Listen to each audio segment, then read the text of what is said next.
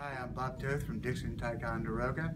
I want to introduce you to Canson, Dixon Ticonderoga's latest acquisition. The Canson brand is a French paper brand, started in 1557, um, but it has distribution in 120 countries worldwide.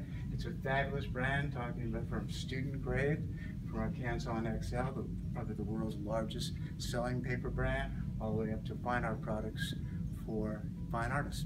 Thank you.